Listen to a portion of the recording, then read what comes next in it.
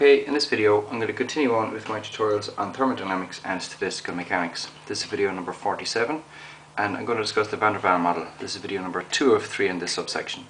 I'd like to draw your attention to my website universityphysicstutorials.com. So this is video 2 of 3 on the van der Waals model. The previous video to this is number 46 where I derived the functional form of the van der Waals model and I also listed all the, the videos which are relevant to this particular subsection. Here what I'm going to do is I'm going to get the Gibbs free energy associated with the van der Waals model. So in the previous video we modified what is in green at the moment is the ideal gas law. We saw that there is a finite molecular volume. So we had to increase the term to V plus NB for a real gas.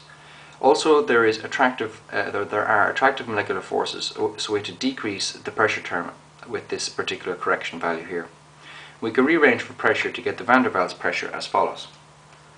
So what we're trying to do is get the Gibbs free energy associated with this particular function. So the thermodynamic identity associated with the Gibbs free energy dg is minus s dt plus v dp plus mu dn. Now if you look at this, if we fix both the temperature and the volume, what we get is that dg uh, dp at temperature, or temp if you fix the temperature, excuse me, and the number of particles, not the volume, we're going to get uh, V, like that. So that's the relationship between the Gibbs free energy and the, the pressure. So that's exactly what we're going to do here. We're going to try and get uh, dg dp. Okay, now if we look at this, if we rearrange this as dg is equal to v dp and do a bit of a sleight of hand which you will have seen me do in the past is once again take the, uh, the partial with respect to volume.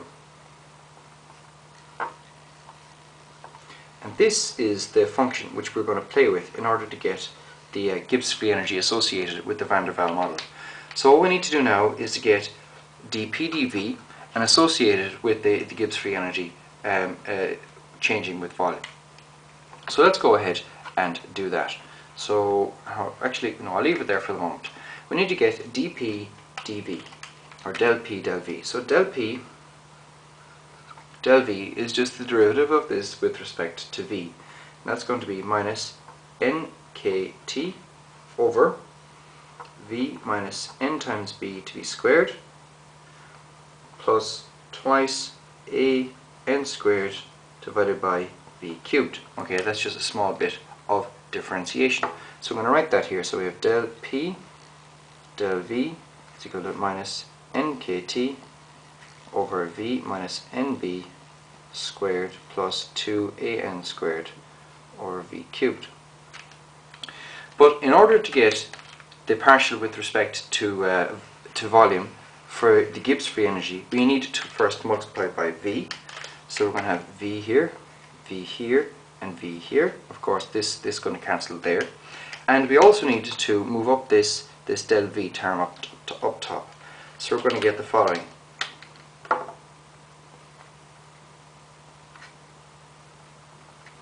Okay, now if we rearrange that we can write that del g is going to be minus nkt v dv over v minus nb to be squared plus 2a n squared dv over v squared. Next, we know of course that the total Gibbs free energy is simply the integral over the uh, is this is simply the integral over its infinitesimal changes.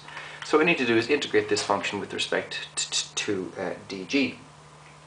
But of course this is going to be, because we're talking about dg, dg is a function of volume, so we're going to get the integral of with respect to volume of course.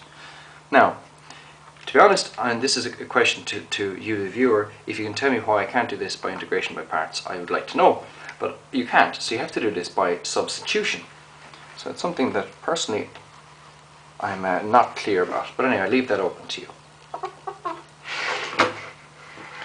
So let's just rewrite that. We saw that the infinitesimal change in the Gibbs free energy is equal to minus nkt vdv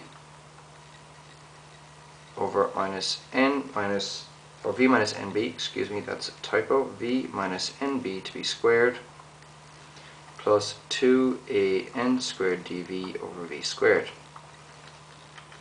Now the substitution which we have to make, I'm going to call it a, and it has to be v minus nb, or this is the one I'm going to suggest, it doesn't have to be. Of course you could do a number of different substitutions. But this means that dA is equal to dV, and it means that V is equal to A plus NB. Alright, now I'm not going to insult your intelligence, I'm sure you know how to do um, integration by substitution at this stage.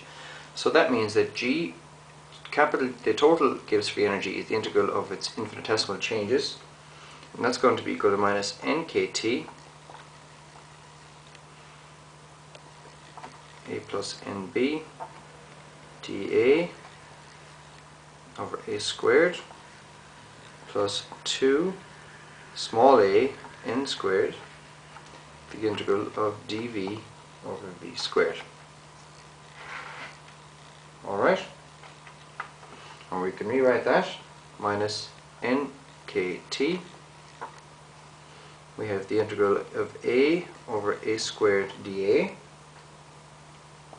we also have plus the integral of nb over a squared dA and we can close this off like that and we also have plus 2a n squared the integral of dv over v squared.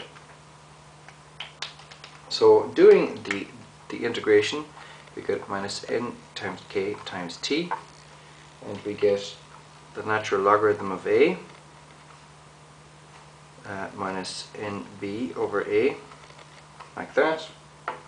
We have plus 2 a n squared times minus 1 over v.